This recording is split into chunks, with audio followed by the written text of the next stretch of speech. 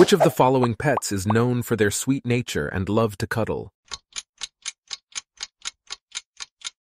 B. Cat. What is the name of a small, fluffy pet that loves to eat carrots and hop around? B. Rabbit. Which pet is often seen as loyal and protective, resembling a wolf in appearance? C. Dog.